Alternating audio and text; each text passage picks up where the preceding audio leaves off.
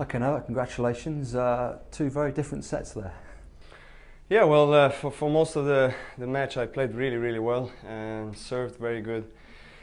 I could have could have the, the finished the job earlier, but I you know I made some unforced errors and on five three when I needed to close it out, I played a bad game, gave an opportunity to come back. Had the next game few match points. He played well. He he, he fought it all the way through. So uh, you know I have to give him credit for that. But uh, was was a good performance he's a bit of an unknown quantity, isn't it? So is it sometimes difficult playing guys you, you don't? Yeah, I never played against him, so I, I didn't really know much, and um, I've seen uh, you know a few points that he played in the first match. So yeah, but I knew that he's a great competitor and somebody that uh, just recently made a breakthrough on ATP, and uh, he's, a, he's, a, good good competitor. And he's through to the quarterfinals, so you must be delighted anyway. Yeah, yeah, I am. Yeah, what do you think of the quarterfinal matchup? I.